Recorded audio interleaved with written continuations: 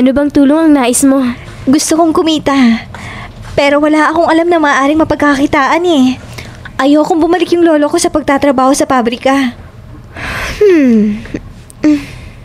May alam ka ba? Maaari mo ba akong tulungan, Deborah? May alam ako. Pero, hindi ko alam kung papayag ka. Oh, ano? Sumama ka sa akin.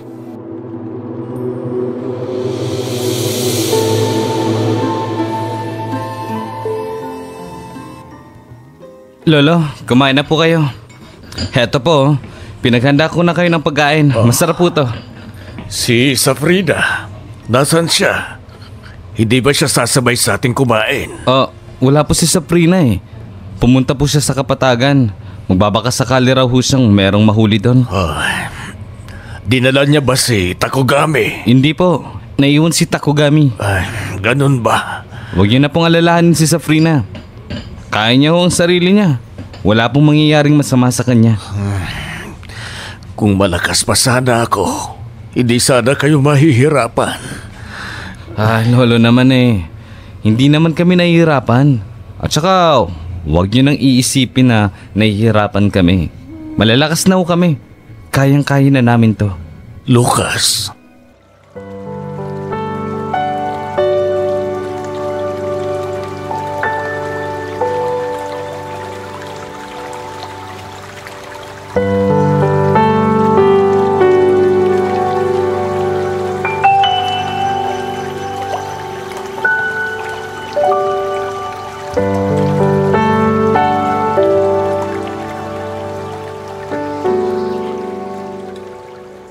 Masyadong liblib ang lugar na to ah. Anong gagawin natin dito?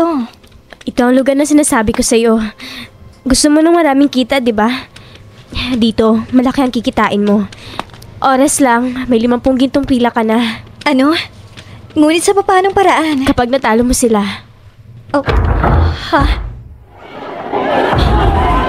Underground Arena? Illegal to ah. Walang illegal sa taong nangangailangan sa Frina. Pinasok mo na rin ang ganitong kalakaran? Sa kahalan ng sistema natin, hindi ka mabubuhay sa legal na paraan sa Frina. Ikaw, katulad mo, aasa ka sa pangangaso at panghuli ng mga ligaw na hayop. Tingin mo, mabubuhay ka nun? Oh, ha, dito sa Frina, madali kang kikita. Ano, papasok ka? Ipapalista ko na bang pangalan mo? Sandali, pag-iisipan ko muna. Mm, ikaw ang bahala.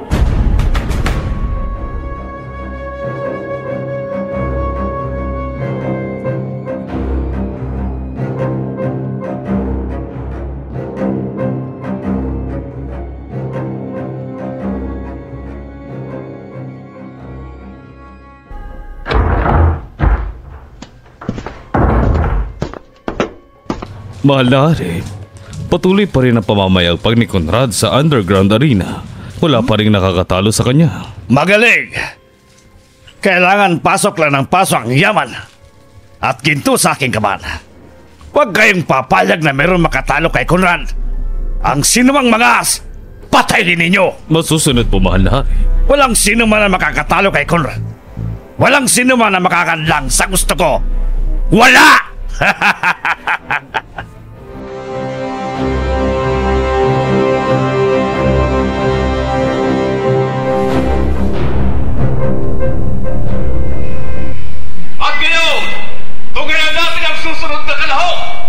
na hahamon sa ating pinakamagaling at pinakamahusay na mandirigmatang arena!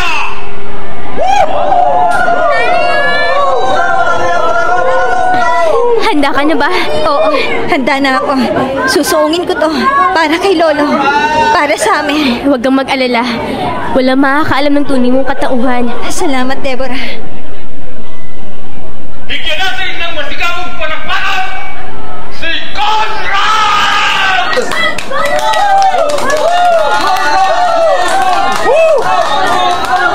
masasayang ang pusta niyo sa akin! Mananalo tayo ulit! Uuwi kayong panalo! Isang barako. Magaling naman dirigma si Conrad sa Frina. Wala pang nakakatalo sa kanya. Ako ang tatalo sa kanya. Sa gabing ito, hindi ako si Safrina Limuert.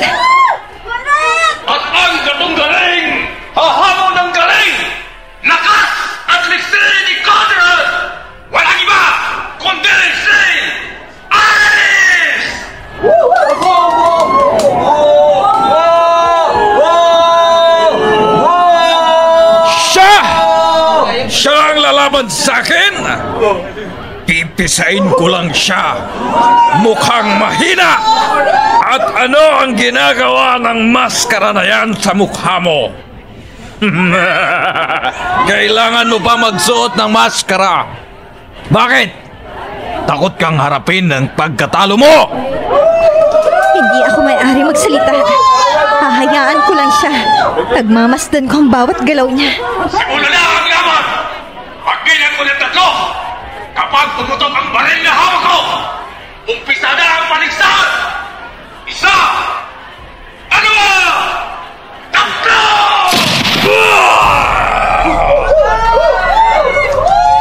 Tapos ka sa akin ngayon, Bagito. Hinting-hinti ka na makakalabas ng arenang ito. Humanda ka! Susugot na siya. Iyahin ko ako dala kong espada. Tingnan natin kung sino ang uwinuhaan.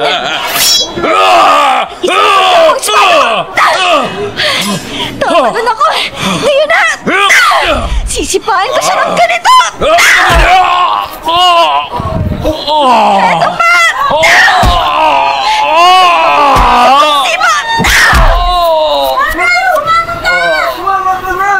Ah, paano? Paano nangyari yun? Wala pa nakakatalo kay Conrad. Bumawag ka, Conrad! Hindi ka na makakabangon pa. Lalo na ako itatara ko sa dibdib mo ang talim ng espada ko. Heto pa!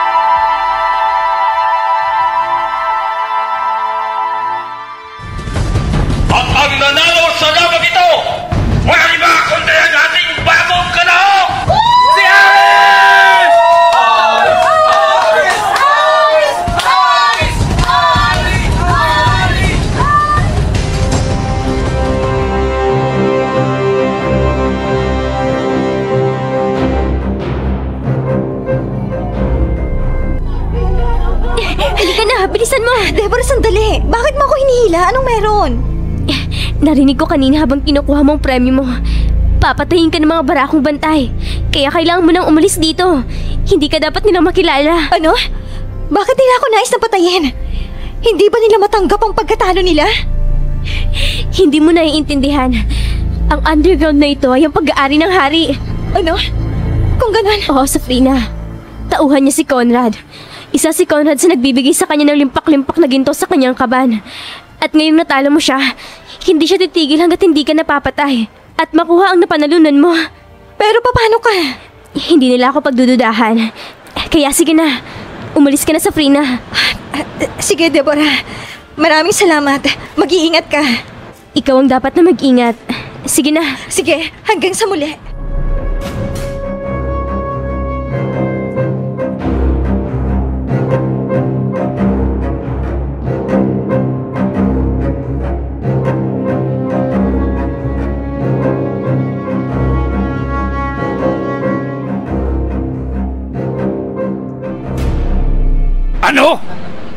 Napatay si Conrad? At natakasan kayo na nakapatay sa kanya? Dala ang dalawang pong pirasong ginto? Mga inutil! Hanapin niyo siya! Huwag kayong babalik hanggat hindi niyo dala ang ulo ng pumaslang kay Conrad! Lalong-lalo na ang mga ginto! Hanapin niyo siya!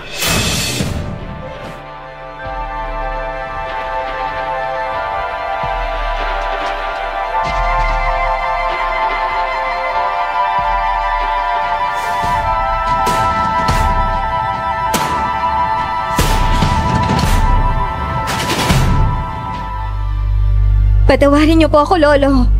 Kung nagawa ko man isang bagay na hindi niyo ikatutuwa. Patawarin niyo po ako. Pero sa kalakaran ng kaharian, tingin ko'y walang mali sa ginawa ko. Lahat sila, lahat ng nasa Kapitolyo, hindi dapat na iginagalang. Nakita ko't naranasan kanina kung paano ang tortuhin na parang isang hayop. Makikipaglaban hanggang kamatayan para lamang mabuhay. At ako, mas pipiliin kong mabuhay kesa ang mamatay. Ayokong mamatay sa kamay ng mga ganid.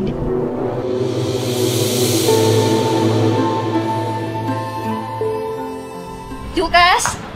Narito na ako. Safrina, hinahanap ka ni Lolo. Anong sinabi mo? Sinabi mo ba sa kanyang pumunta ako sa patag? Oo, sinabi ko sa kanya. At sinisisi niya na naman ang kanyang sarili. Dahil kung nakakapagtrabaho para sana siya, hindi daw sana tayo nahihirapan. Ganun ba? Si Takugami, kumain na? Ah, siya nga pala, may dala ako dito.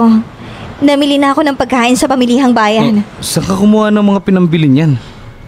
Um, Lucas. Di ba ang sabi mo, maghahanting ka lang ng mga ligaw na hayop? Bakit meron ka ng mga dalang pagkain? Saan ka kumuha ng pinag... Nakahuli ako na malaking usa. Oh. Ibinenta ko. Yung napagbentahan, ipinambili ko ng mga to. Safrina, May mga binili ako dyan para sa'yo. Puntahan ko lang si Lolo, ha? Safrina!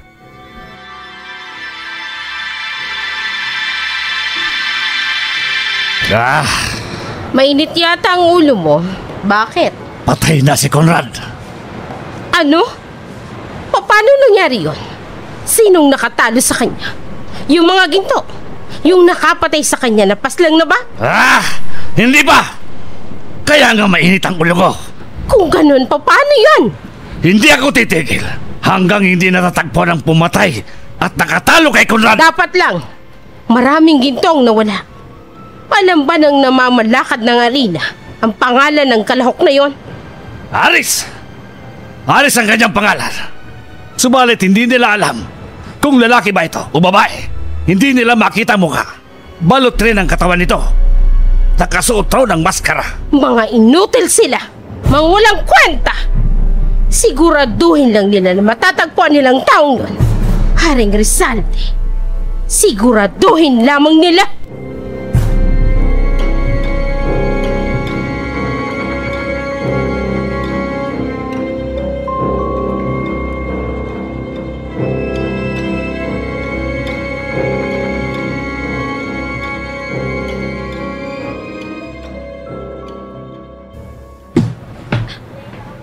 Lolo, Oh, Safrina, narito ka na.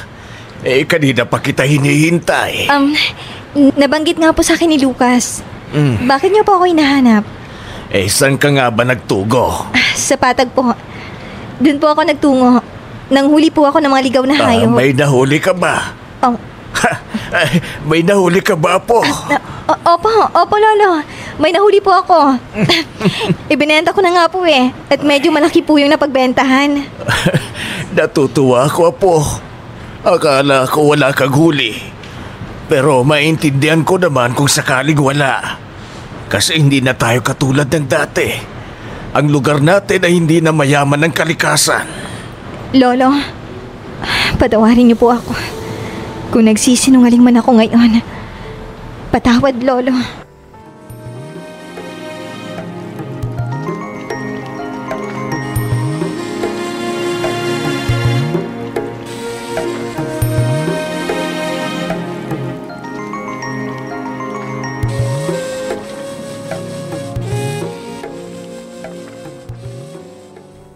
Tapatin mo nga ako sa Frina. Um, Lucas, Saan galing ang pinambili mo ng mga to? di ba nga sinabi ko na sa'yo? Nakahuli ako ng hayop. Kaya meron ako naiuwi na. Bakit ba kailangan mo magsinungaling? Kilala kita sa Frina. Kilalang kilala kita. Magagalit ka lang sa akin kapag sinabi ko sa'yo. Mas magagalit ako kapag patuloy ka nagsisinungaling. Kaya tapatin mo na ako. Saan galing ang mga to? Sumali ako sa isang illegal na laro. Ah, ano? Sumali ako sa isang paligsahan. At nanalo ako ng limampung pirasong ginto. At, at ngayon, pinaghahanap ako ng mga peacekeepers. Gusto nila akong patayin Oh. at bawiin ang napanalunan ko. Mabagin. Bakit mo ginawa yun? Paano na lang kung napahama ka? O ano, wala kaming kalam-alam ni Lolo na patay ka na? Para kaming tanga na mag-aantay sa'yo dito. Sa free na mag-isip ka naman. Nag-iisip naman ako, Lucas eh. Kaya lang, desperado na ako kanina. Ayoko umuwi dito na walang dala. Ayoko makita ni Lolo na sinisisi niya na naman yung sarili niya. Dahil hindi niya kaya magtrabaho. Ayokong sisihin niya yung sarili niya kung bakit tayo nahihirapan ngayon. Kaya kahit delikado, sinuong ko. Para makita lang si Lolo na masaya. Kasi Lucas, nasasaktan ako kapag nakikita kong nalulungkot siya. Safrina, naiintindihan ko ang punto mo. Pero sana maintindihan mo rin ako. Oh, sabihin na natin na malakas ka, matalino ka, may kapangyarihan ka, o kung ano pa mang meron ka. Pero sana maintindihan mo rin. Paano kung may nangyaring masama sa iyo? Tingin mo hindi masasaktan si Lolo?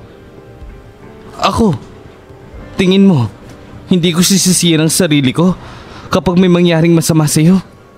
Lucas, Minsan kasi palawakin mo naman yung isip mo. Huwag puro ngayon lang ang isipin mo.